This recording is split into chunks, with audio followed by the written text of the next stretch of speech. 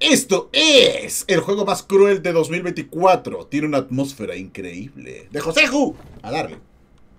Mecas, drones, tanques cubiertos de cadáveres, bombardeos de cyborgs, cosechadoras de órganos son solo algunos de los horrores que vas a encontrar en Forever Winter, el juego que más interesado me tiene este dos... Hijo de marroquí, cuenta conmigo. Holy fuck, eso se escuchó tan god.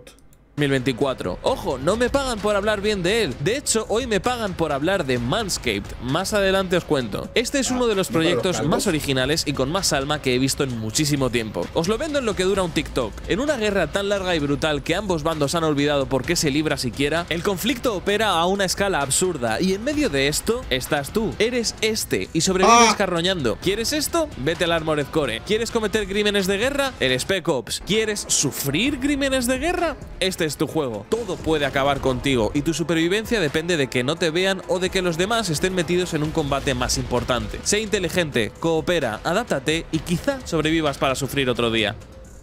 Oh Dios, ser torturado de forma brutal y sin realmente ningún sentido en un videojuego. ¿Dónde me anoto, baby?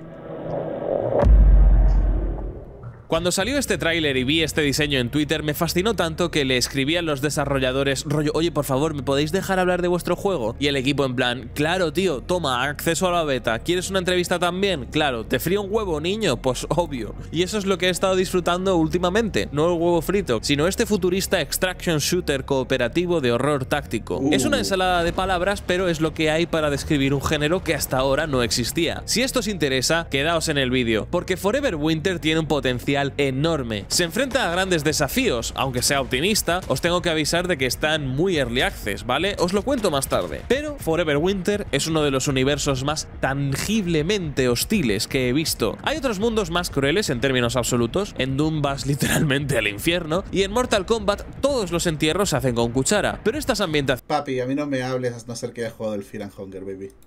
Aunque sean oscuras, lo son para sus personajes, no para ti. Todo en Doom Eternal existe para que su público se divierta. Ternurita. Hay muñequitos, salta la munición como si fuese una piñata, Canela está ahí, y en Mortal Kombat todo tiene el claro objetivo de que lo flipe su público objetivo. Señores de 40 que a día de hoy no tienen tiempo para juegos, ¿qué hace Rambo ahí? En Forever Winter sí que parece que todo está hecho para ser realmente hostil, tanto con sus personajes como contigo. Es un mundo en el que cada paso que das es un logro, y cada bala que disparas un riesgo. Como en otros extraction shooter, si mueres, pierdes lo que llevas. Los ejércitos son liderados por inteligencias artificiales que mueven sus recursos como piezas en un tablero, con la extraordinaria crueldad de la indiferencia, de la eficiencia industrial. Enormes máquinas de guerra Entonces déjame ver si lo he entendido bien. Esto es básicamente un tipo que hizo... Es como uno de esos rusos que hacen uno de esos videos de animación enormes de Warhammer 40.000 que ponen a dos ejércitos peleándose y dijeron, oye, ¿qué tal si ponemos a un desgraciado de por medio y ver cómo se las arregla? Idea multimillonaria para un videojuego, papá. Ahí va. Y tú arrastrándote por el piso mientras Lionel Johnson se da puñetazos con Conrad Kurz. guerra luchan en campos de batalla continuamente arrasados, mientras otras inteligencias artificiales reconstruyen la ciudad por la noche. Es conflicto en una escala absurda. En Tienes que correr mil yardas de un extremo al otro. Perfecto, suena fácil. En Itzban 5. Buena suerte, muchacho. muchos casos tu única forma de ganar una pelea es no tenerla. Algunos de mis momentos favoritos fueron dejando que un mecha pasase por encima de mí y rezando, reteniendo la respiración para que no me viese.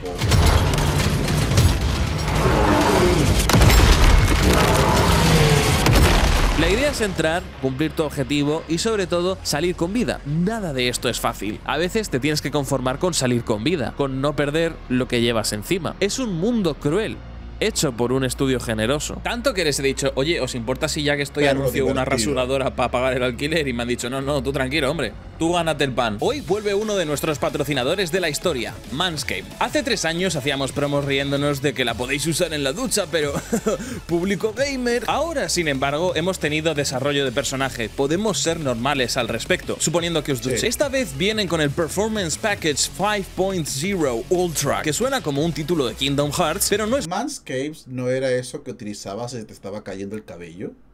Más que un kit de aseo personal. Esta es la Lawn Mower 5.0 Ultra también. ¿Sabéis el look plenamente afectado que llevo de vez en cuando? Surgió por un accidente con una desechable. Estaba repasándome el bigote, corté de más y ya sí o sí tuve que afeitarme entero. Esa fue mi trágica bellerintomía, algo que no hubiese ocurrido con esta maquinilla, más precisa y desde luego con tecnología SkinSafe. La tecnología SkinSafe no garantiza protección frente a cortes. Además tiene lo que puedes esperar de una recortadora de la marca, batería recargable con USB-C, bloqueo de seguridad y resistencia al agua. Pero espera, porque hay más. Con el Performance Package 5.0 Ultra HD Remix, ahora puedes llevarte la recortadora para la napia, la Weed Walker 2.0. No tiene nada que ver con la lechuga del demonio, pero sí que sirve para librarse de las malas hierbas, los pelos de la nariz y las orejas. Lea las instrucciones de este electrodoméstico y consulte a un Reddito. Pero espera, porque aún hay más. ¿Quieres bolsa? Porque con el pack te llevas el neceser Shed 2.0 y dentro hay cosas como los boxers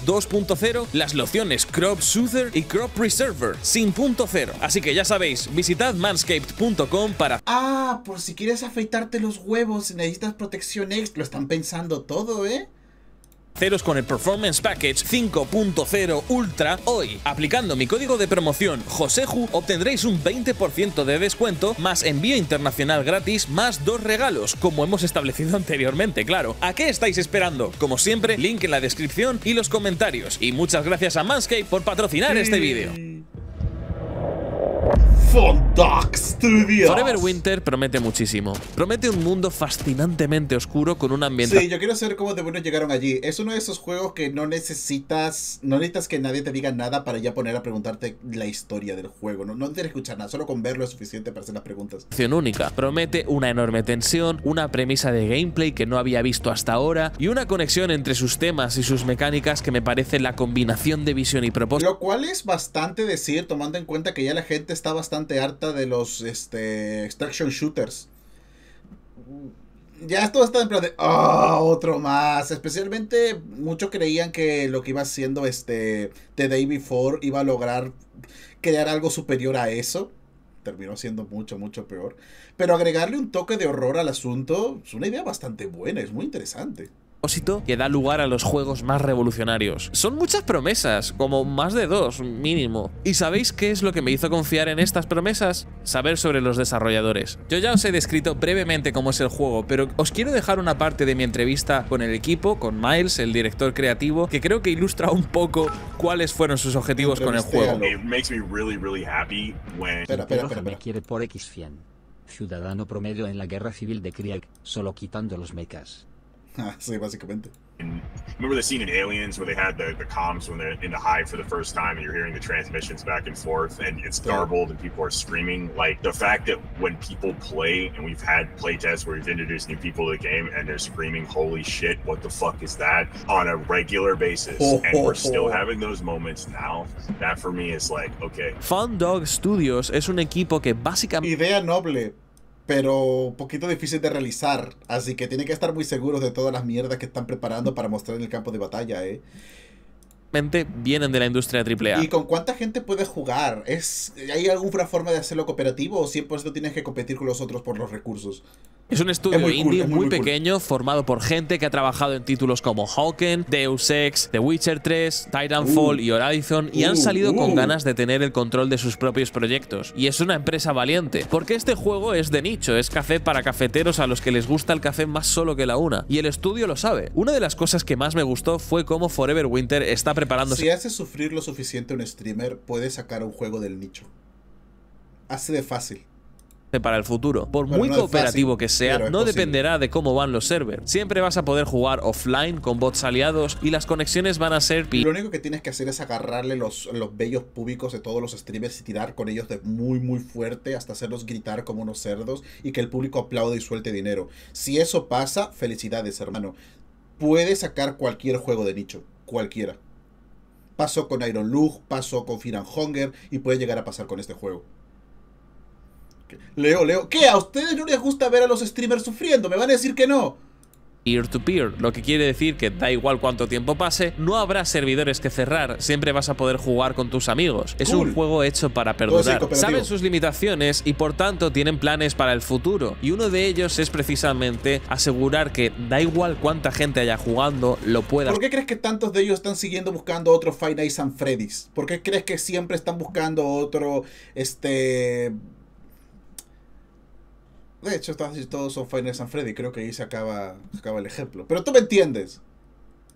Jugar. Muchos de estos desarrolladores son artistas, y Forever Winter en cierto sentido recuerda a Scorn, un juego que, independientemente del gameplay, también se podría disfrutar como si fuese un álbum de arte. Este juego es muy atrevido, a nivel fundamental. Hasta los controles básicos reflejan la intención de hacer una experiencia muy consistentemente tensa. Moverse es pesado, no es ¿eh? Dark Souls ni Death Stranding, pero sí que llevas la build de globo a la espalda, lo que hace del movimiento algo muy deliberado. Lleva tiempo acelerar y lleva tiempo girar, eres como un Honda Civic con un AK-47. Por ejemplo, si estás sprintando no puedes moverte independientemente de la cámara, lo que significa que vas a tener que elegir entre velocidad máxima o, tener más información sobre tu entorno. Esto no solo lleva a decisiones interesantes, sino que también me ha dado uno de mis momentos favoritos hasta la fecha, una ronda en la que me perseguía una horda entera de zombies y lo único que podía hacer era correr hasta la salida, pero para correr lo más rápido posible no podía mirar atrás. Como tenía el sol a mi espalda, estaba haciendo un sprint a la desesperada y mi única forma de saber cómo de cerca estaban los zombies cyborg era viendo cómo sus sombras se me acercaban cada vez más. En todo momento uno siempre tiene la sensación de que cualquier victoria que pueda conseguir tiene un poquito de milagro. Y a nivel mecánico, quizás sea verdad, la suerte puede influir. También es un juego que desafía nuestras nociones anteriores que podamos traer de otros títulos. Entonces hay zombies, aliens, cyborgs, mechas... Si hay enemigos, eso no quiere decir necesariamente que ese sea el camino, o que incluso haya algo. Quiere decir me encanta cuando los estudios simplemente se sueltan el pelo y agregan cualquier cosa que les parezca cool por el mero hecho de ser God y ya está, eso es todo. ¿Y por qué estamos agregando, me recuerdas otra vez por qué estamos agregando un mutante de 7 cabezas que escupe fuego y toca 24 guitarras eléctricas a la vez? Sí, ¿Alguien se va a quejar? No. Ok. Que hay enemigos. Sigue una lógica interna que premia más que pienses con sentido común. Como dice el tráiler, hay tres tipos de carroñeros. Los rápidos, los astutos y los muertos.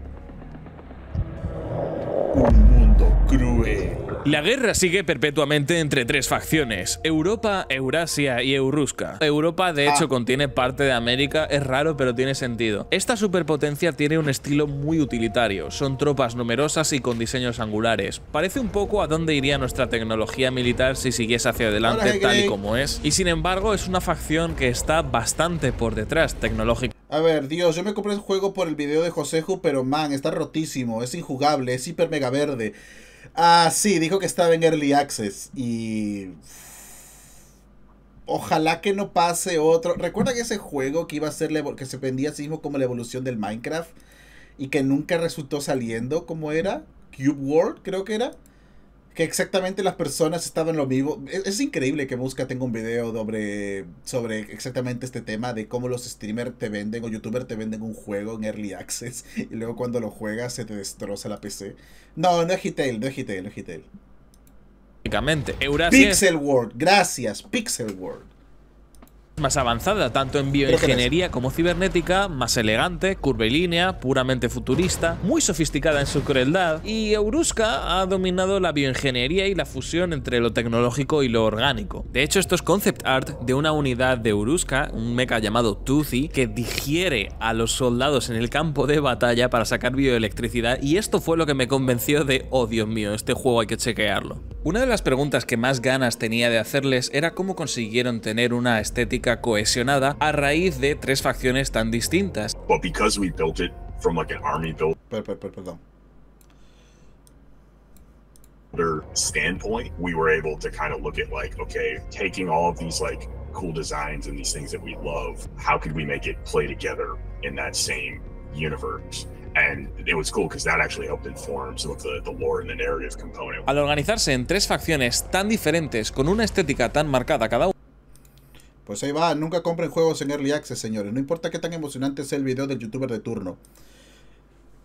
Una, había ya un nicho que podía... Recuerda que ellos les dieron una versión más funcional que el resto para que pues dieran buenas opiniones, así que nada, no, no vale la pena.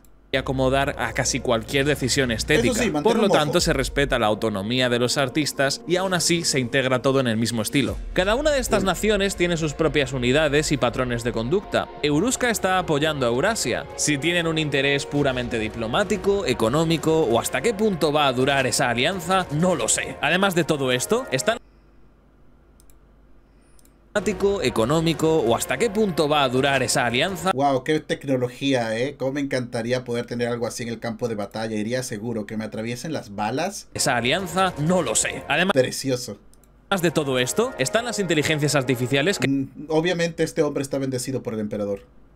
Que mencioné antes, liderando los ejércitos de formas que nadie entiende. Forever Winter es como ser un civil en medio de una partida de StarCraft, y si eso no es suficiente, algunas de estas IAs se han revelado y actúan según sus propios designios. Muchos soldados no saben de quién reciben las órdenes, quizá no sepan siquiera que les manda una inteligencia artificial, y mucho menos van a sospechar si esta IA tiene algún interés en ganar la guerra, aún menos incluso en que ellos sobrevivan. Hombre local sin esperanza alguna aún tiene que enterarse de que está en un embrollo peor de lo Blood for the Blood Gods style. que imaginaba. Más noticias a las 11. Pero hay otras inteligencias artificiales trabajando mientras tanto. Por la noche, la megaciudad de Lost Angels es reconstruida por máquinas autónomas, mientras las madres coraje buscan a gente a la que procesar.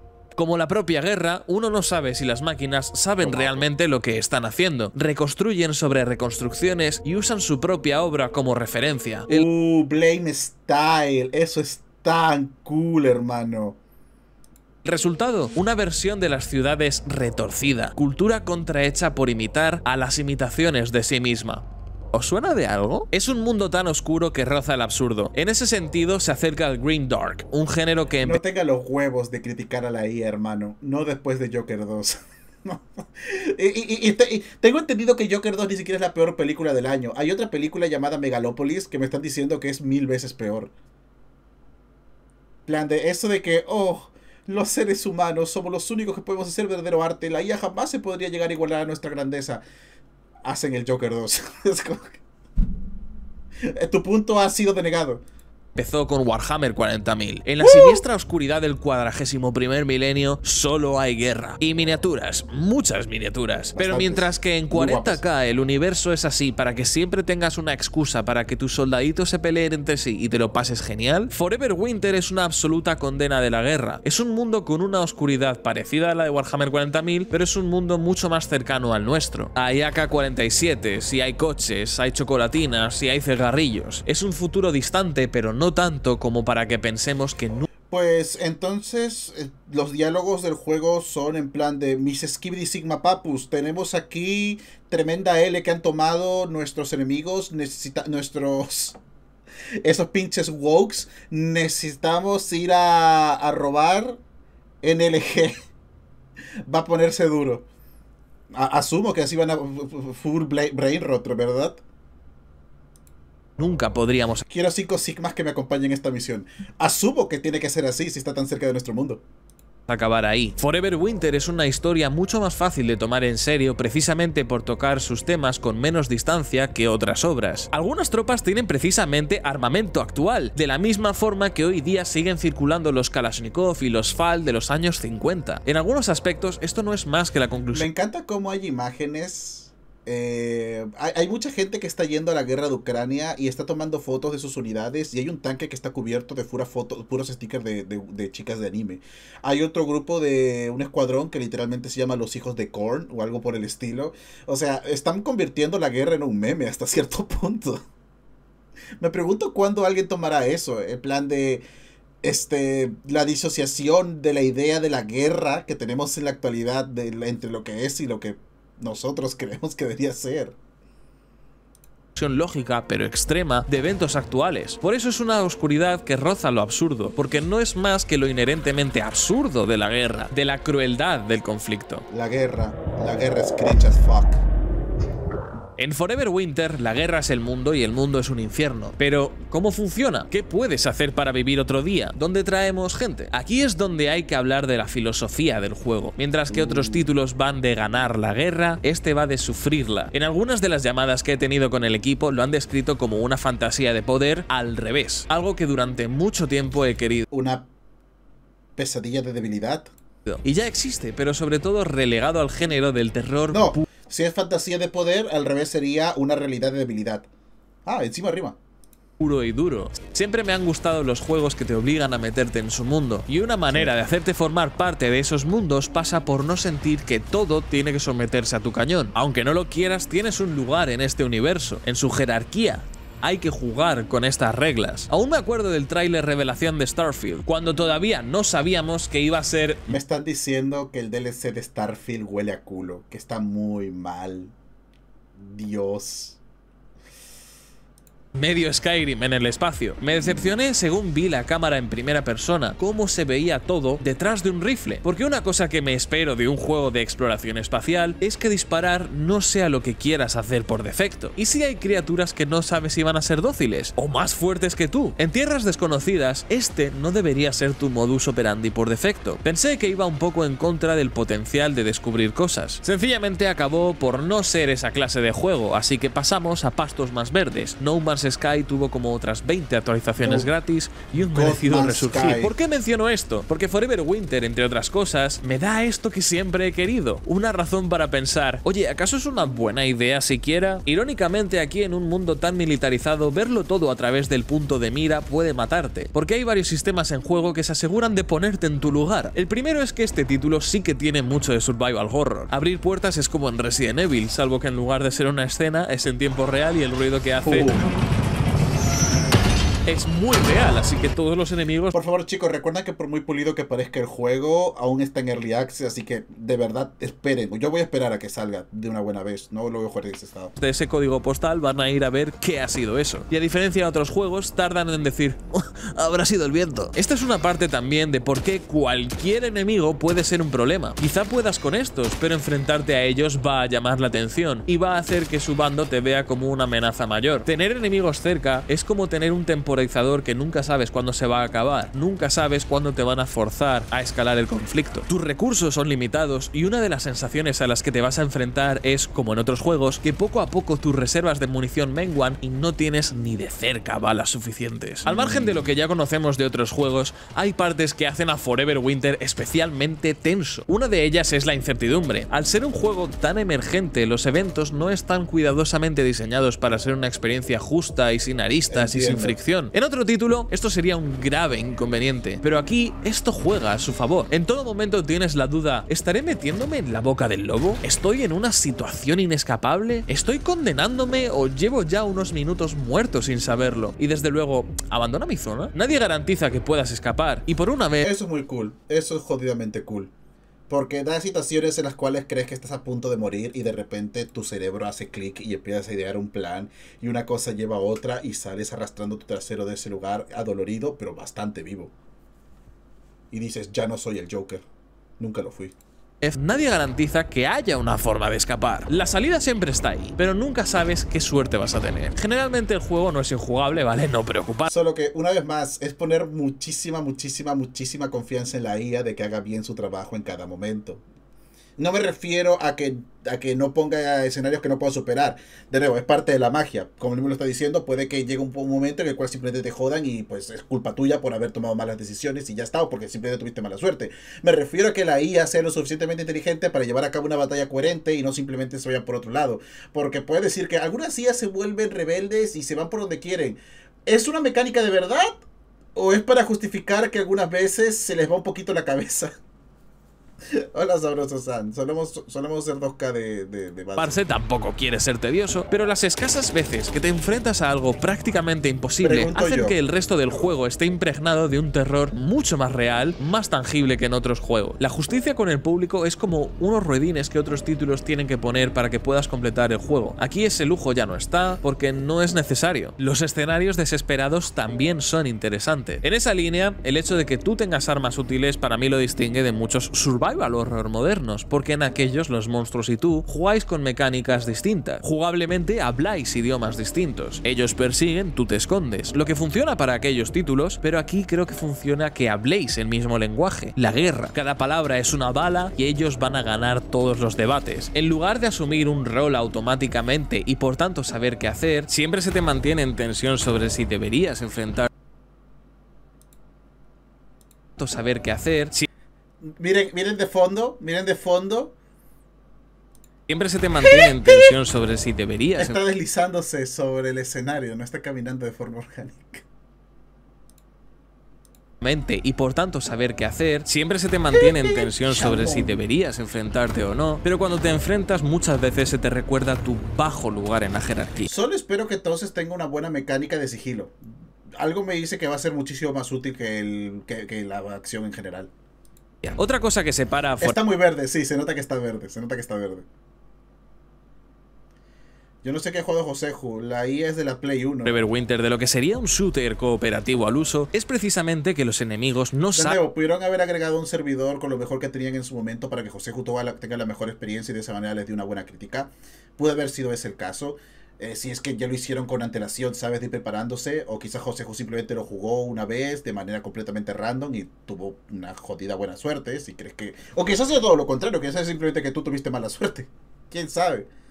Saben por defecto dónde estás. No es un juego de oleadas y no te huelen a través de la pantalla. Tiene su propia inteligencia artificial con objetivos propios y solo van a por ti si llamas la atención. El problema está en que mucho de lo que quieres hacer llama la atención. Ya solo por estar ahí levanta sospechas. Ya, ya solamente veo esto y he notado varios errores. Hay, hay un par de cositas que se nota que se tienen que terminar arreglando. Es muy importante.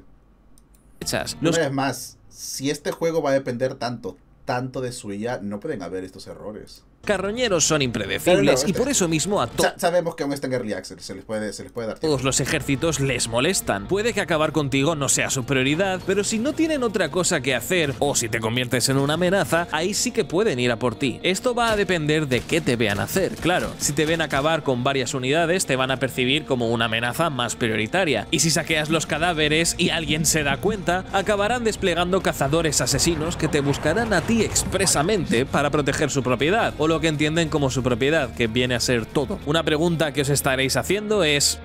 Entonces, ¿por qué no sencillamente esperar a que se maten todos entre sí? Y en ocasiones, ¿por qué no? Eso es lo que vas a querer hacer. Pero no te vayas a pensar que se van a acabar los enemigos, van a venir refuerzo. Tus oportunidades en Forever... Sería cool que si te ven acabando con un enemigo del bando equivocado, del, bando contrario, este, no te, no te hagan parte de su equipo, pero que te ignoren en plan de, ok, bien, como sea.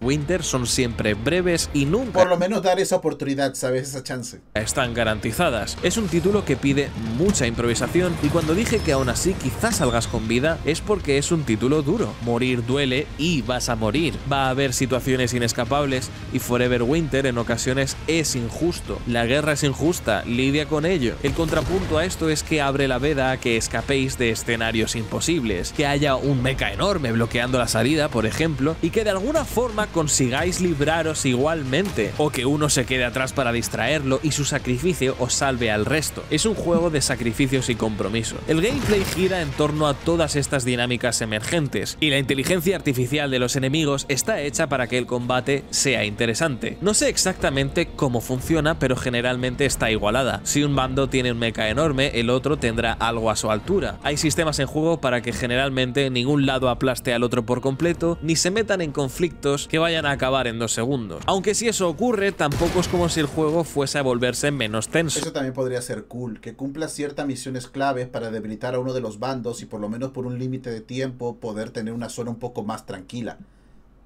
Mientras que pues llegan los refuerzos del bando que ha sido lastimado. No va a ser que el, viaje por el, por el otro lado sea un paseo en el parque, pero al menos un poquito más sencillo. Al contrario, hay menos conflictos de los que aprovecharse, así que es mucho más fácil que te ataquen a ti. Aquí pocas cosas son tan terroríficas como un campo de batalla en silencio. Este es un juego que no está desesperado por explicarse, te deja a ti averiguar cómo funciona. Por ejemplo, no sé si rezar hace algo, pero yo ya me he vuelto supersticioso, a falta de saber por qué no hacerlo. Sí que os voy a dar un tip para vuestras primeras misiones que os va a ahorrar frustración. Pinguea un objetivo para saber qué es. Esto ayuda porque yo, por ejemplo, tuve que enterarme de qué es un dron europeo y qué es un dron euroasiático por ensayo y error. Marcando el objetivo va a salir su nombre. Antes de cada expedición podrás escoger tu personaje y su equipamiento. Elegir Siempre va a suponer compromisos difíciles. Cuanto más armamento lleves, menos botín podrás sacar. Los objetos más valiosos ocupan en tu inventario la misma ranura que las mayores ayudas que puedas llevar. ¿Cuántos suministros médicos llevas? ¿Cuánta munición? Si vas con pocos recursos llamarás menos la atención, pero tendrás que saquear más, lo que también llama la atención. Pero si no te ven, ¿eh? es jugársela. Pero antes de elegir el equipamiento incluso, hay que decidir algo quizá más importante aún, para quién trabajar. Desde luego puedes aceptar encargos de los carroñeros, pero pronto se abre la posibilidad de cumplir misiones de Europa, Eurasia y Eurusca, y la variedad se dispara. La mayoría de encargos son de recolección, exploración o incluso de llevar recursos a algún sitio. También los hay de acabar con unidades enemigas, pero esos no son la mayoría. Cada facción tiene sus propios intereses, objetivos e incluso amotinados. Ok, Algunos cool. encargos te van a sorprender. Pero lo importante también es que cada misión va a cambiar tu reputación con estas organizaciones y la situación del sector. Cuanto más controlada tenga una facción cada zona, más fuerte será su presencia ahí y quizá eso no te interese. De hecho, uno de los peores casos es que una de las facciones vaya ganando mucho más control del mapa porque entonces, de nuevo, tú pasas a ser un objetivo prioritario. Poco Ok, ok, eso es cool. Bien, bien, bien. Me respondió y buena solución. a poco irás progresando y aceptando encargos más complicados y en ese sentido el juego va volviéndose menos de terror. Inevitablemente Eres un rapi de la TAD, básicamente, sí. Venezolanos y argentinos del chat. Mi momento ha llegado. Según vayas jugando mejor, vas a ganar autonomía y te vas a sentir más libre. Los momentos clave empiezan a ser más cinemáticos y emocionantes que puramente tensos. Y aquí es cuando el juego te va a recordar tu lugar. Siempre, siempre hay alguien más fuerte y toda la arrogancia que lleves al campo de batalla va a ser castigada. No te preocupes. Esto se traduce en que vas a Con todo el Dragon Ball que te gusta, es increíble que no hayas captado ese mensaje antes. Quiero una va cosa. a ser castigada. No te preocupes. Esto se traduce Miren el tanque. Miren el pinche tanque. arrogancia que lleves al campo de batalla Atentos, va a atentos, ser atentos, ¿eh? castigada. No te preocupes. Esto se traduce en que vas a ¡Oh, por Dios! También hay poderes psíquicos, Joseju. ¿Por qué no nos hablaste de eso antes? castigada, no te preocupes. Esto se traduce en que vas a tener ciclos de sentirte mucho mejor y que os aplasten de nuevo. Lo que no quiere decir que no vaya a haber momentos peores y momentos mejores. Marco, pero oh, por Dios, no lo hagan. Esta ambientación es genuinamente fascinante. Aunque se noten las referencias e inspiraciones, es única y deliciosamente oscura. Para mí tiene Sí. ese punto de estar lo suficientemente cerca de nuestra realidad como para sentirse un poco creíble en su horror. Es consistentemente oscura y sin embargo no fatiga, porque entre abominación y abominación hay momentos que me ¿Te imaginas que una de las misiones sea que te traigan un paquete, vas por el paquete arriesgando tu vida, te enfrentas contra estos mutantes, monstruos, saltas mecas monstruosos y todo el rema, llegas a la base, le entregas el paquete y saca una estatuilla de Pogmi y un frasco y dice vete. wow, eso no me lo ni esperaba.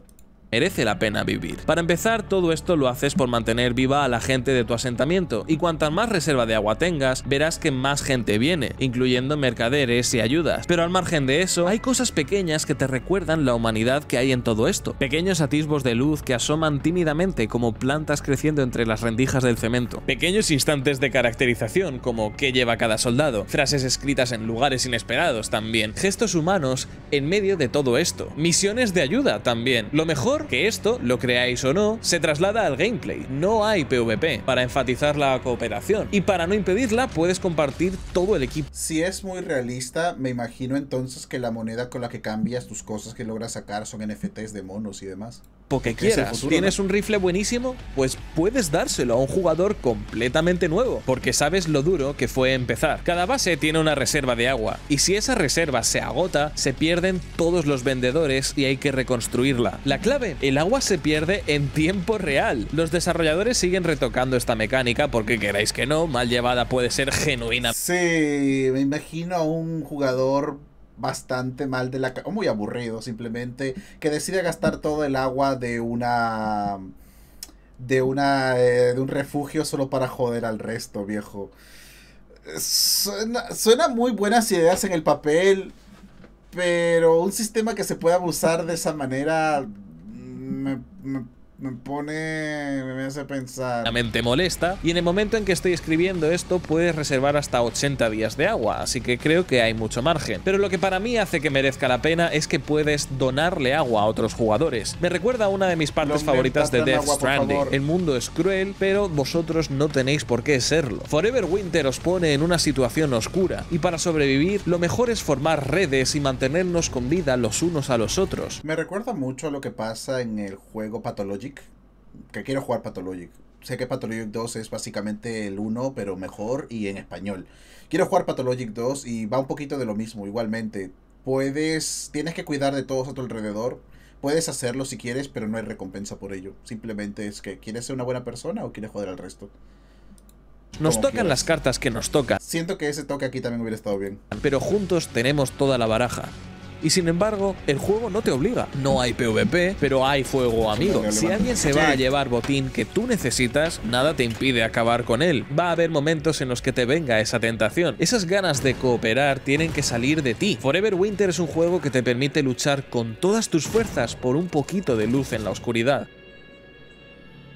Forever Early Winter está en muy early access. Me encanta, pero me encanta de la misma forma que I Divine Cybermancy, Fallout New Vegas o Pathologic, el primero, salvo que aún más extremo. Es un juego único y por eso mismo estoy más que dispuesto a perdonarle lo tosco de algunas cosas, pero os tengo que avisar, porque cuando digo que es el juego con más potencial de este año, ese potencial depende de cuándo lo vayan a pulir una vez esté el early access. La optimización podría ser bastante mejor, hay animaciones que faltan y no es raro atascarse con partes de la geometría del mapa. Va a haber momentos injustos, frustrantes de una forma que no es la que quiere el juego, algo aún más doloroso cuando es un extraction shooter. Está literalmente sin terminar, como son los early access, Claro, pero este es muy, muy early. Si el estudio no estuviese tan a tope y tuviese las intenciones que han dicho en aquel vídeo que hicieron, un pequeño vídeo con una declaración de intenciones potentísima, no confiaría ni la mitad. Pero lo tenéis que saber, es un juego con muchas aristas ahora. Aunque os guste la idea, puede que no sea para vosotros. Pero si lo es, os prometo que no hay nada ni parecido. Si podéis con estas cosas, a cambio vais a tener el café para cafeteros más alucinante. He jugado muchas horas y cuando no estoy jugando, mi mente vaga a su ambientación. Es un juego y un estudio que para mí se han ganado buena fe. Porque esto es Pues mira, al menos en mi lista de deseados va a estar. Un ojo encima voy, voy a tener sobre esta cosa. Es que es- se, se ve muy bien. Se, se ve muy bien. La idea es jodidamente, jodidamente divertida. Se escucha muy interesante. Y suena que puede salir un universo bastante loco de esto. O sea, que es una historia muy, muy, muy, muy, muy turbia la que nos van a terminar contando.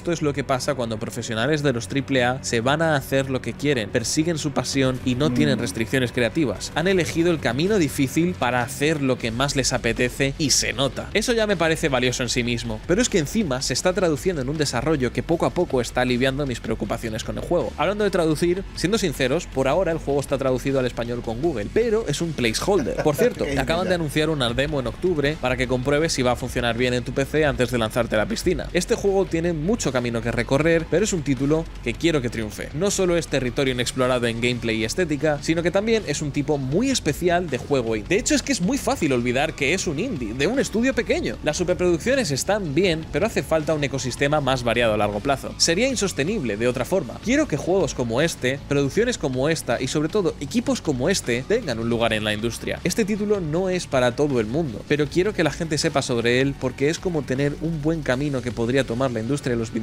ahí entre De nuevo, si los streamers sienten que es un producto que llama lo suficiente la atención, si creen que el público se va a reunir cada día para verlos sufrir de manera constante en este título, puede llegar a tener allí una esperanza. Ahora, hoy en día los juegos de nicho están teniendo un segundo aire. Lo hemos visto con, lo hemos visto con Baldur Gate y los juegos indie no paran de hacerlo a cada rato. Ya que tiene mucho potencial, pero quedan dos o tres años. Sí, Ahí va. Por lo que podría ser, señores. Podría ser.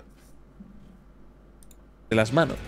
Forever Winter ya está en Early Access y lo tenéis en Steam y Epic Games. Dicho esto, yo voy a sufrir encantado de que me saquen el colon por la rodilla. Nos vemos en el apocalipsis. Muchísimas gracias a Manscaped por Pero tienes razón. Yo estaría revisando este juego en unos dos años, por lo menos. Dos, tres años máximo. No creo que en menos tiempo vayan a tenerlo pulido al nivel que sea óptimo.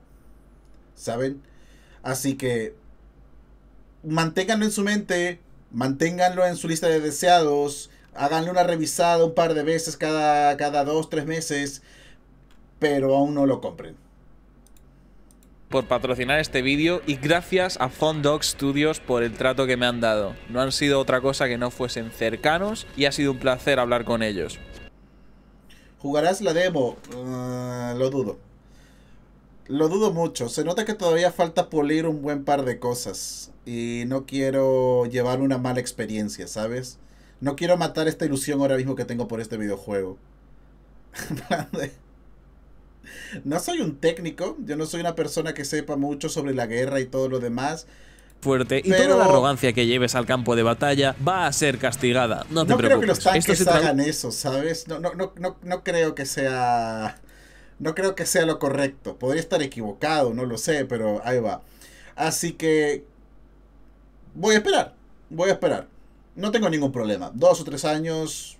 Eh, ni siquiera me voy a dar cuenta. Lo más probable es que me olvide de esto en un par de, un par de semanas.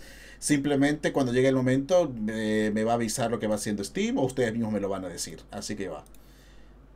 Pero eh, eh, tiene, tiene muy buena pinta. Se ve jodidamente, jodidamente guapo. Se ve. Es una idea muy interesante. Y todas las mecánicas que están poniendo hace que, que quieras saber más. Hace que, que quieras probarlo cuanto antes. Pero hay que tener paciencia, señores. Esto se cocina a fuego lento. Así que ahí va. Bueno, Joseju, si crees que estoy haciendo mal uso de tu material, avísame, bro, y lo borro, ¿eh? Sin pero ni nada, al instante. Dos o tres años ya estaremos en este planeta. Sí, por supuesto, vamos a seguir en este planeta, pero las cosas no van tan mal, tampoco exageres. Pero ahí va. O sea, si, va, si alguien va a explotar en miles de pedazos, serán los que están al otro lado del continente nuestros vecinos de arriba. Pero nosotros, siempre y cuando sigamos con el internet, todo chido, todo correcto. Gracias, me traes mi pastilla, lo Ah. Te quiero mucho, Lunenta Bomnenta. Eres Bomnenta. de la silla también que tienes que estirarte. Sí.